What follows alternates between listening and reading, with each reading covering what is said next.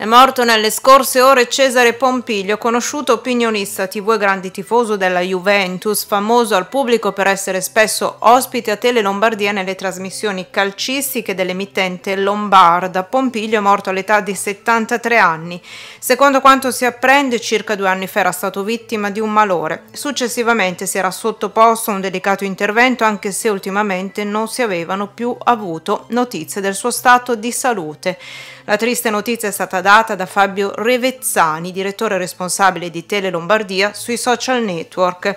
Ho una terribile notizia da darvi, purtroppo è morto il mio e nostro caro amico Cesare Pompiglio. Solo chi ha avuto la fortuna di frequentarlo dentro e fuori dagli studi televisivi sa che straordinaria persona fosse. Dire che ci mancherà non rende l'idea del vuoto che proviamo.